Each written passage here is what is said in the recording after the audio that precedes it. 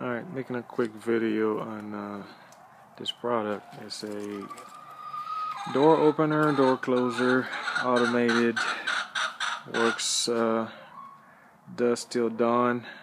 At sunrise it opens up and at uh, sundown it closes. So it comes with this actuator, arm actuator here.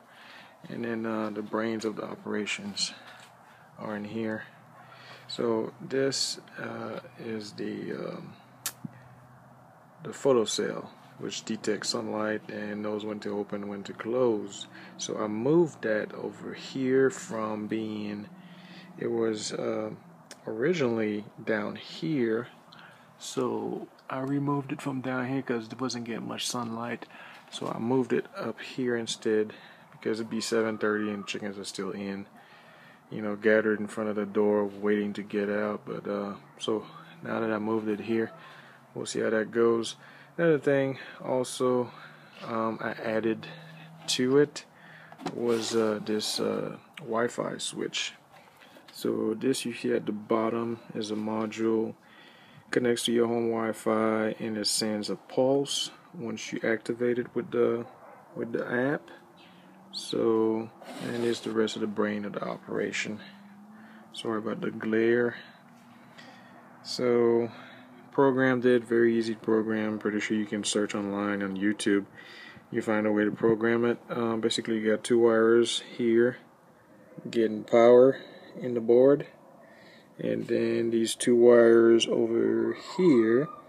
If you follow them over here, they go into the cycle which opens and closes the door. So it sends a pulse, one pulse, and opens, one pulse, and it closes.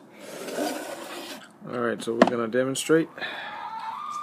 I got it linked to my Alexa um, app. So pretty much I'll go into the app. Oh, the glare is ridiculous. Alright, let's try this over here.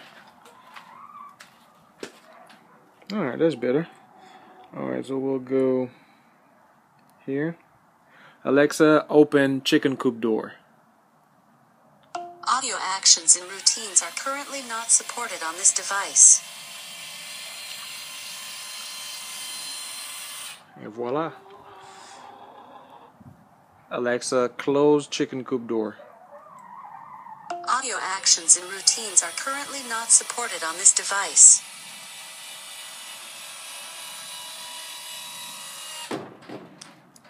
Awesome. And you can also do it manually by just going to the device itself and uh, go to switches.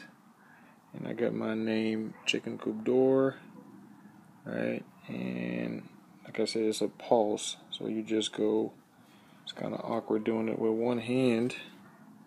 You just go just go here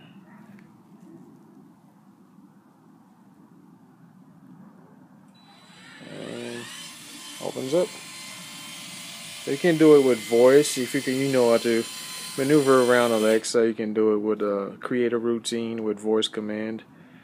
It'll still tell you that device is not voice activated or whatnot, but you can go around that